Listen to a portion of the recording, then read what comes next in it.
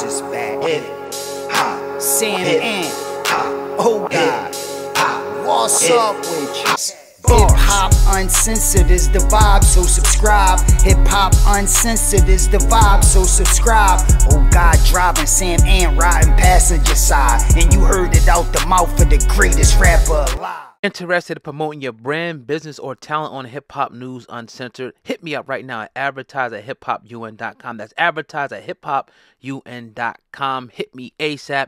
Very affordable rates. Now to our regularly. Man, 50 Cent in his new book, Hustle Harder, Hustle Smarter, spoke on Lloyd Banks. Now, Lloyd Banks responded to 50 Cent's lazy comments. I'm going to actually get into both excerpts what 50 Cent said and what Lloyd Banks actually said on his new album on a song called Stranger Things. So, on an excerpt from 50 Cent's book, Hustle Harder, Hustle Smarter, he went on to say, When I was out hustling, I actually hustled with his father, speaking of Banks. He said Banks was more content staying on the porch and watching the world from there. Banks wanted things to come to him as opposed to going out and get things for himself.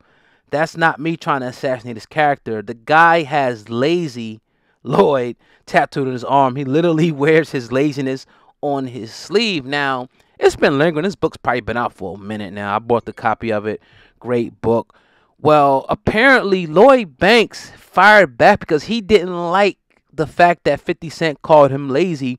And here's what he said on a song called Stranger Things put Your favor is nowhere near me when I'm dedicated, always humble, usually disciplined, never hated. Call me quiet, call me lazy never faded. It's frustrating when you grind and ain't appreciated. Should have been dead in my 20s. Shit, at least I made it. I guess I got to prove myself again. Increase your payment now. Go check out Lloyd Banks' new album. It's out now. It's called The Course of the Inevitable, and that's available right now um, on all streaming platforms. Very, very interesting because when you talk to former G Unit members, and we haven't talked to 50 Cent, we talked to a couple people who's connected to the G Unit thing. You know, a lot of people say that 50 Cent kind of took his, you know, his attention or his focus or his passion away from the G Unit brand and moved it to other things. And I guess it was a good move looking at the way his empire grew. But you never kind of heard from the the subjects, the banks, and the other cats. We, we talked to actually Kidd Kidd, and he talked about it. But he didn't blame 50 Cent. He said everything was all on his shoulders and he had no ill will, no animosity towards 50. So Lloyd though was the closest thing to 50. He was the he was I mean when you're talking about a lot of people you would say Lloyd was even lyrically better than 50 and I could I think I could concede to that Lloyd was a, was a monster. But as far as it ain't always about talent. You hear, you hear the saying when they say, you know, uh, uh um hard work can sometimes beat talent when talent don't hustle. It's the same type of thing. You got the best basketball player in the world. He could be better than Kobe. He could be better than Mike. But if he's sitting at home, he's not going to the gym. He ain't at the gym four or five times a day like Kobe was. He'll never be better than Kobe.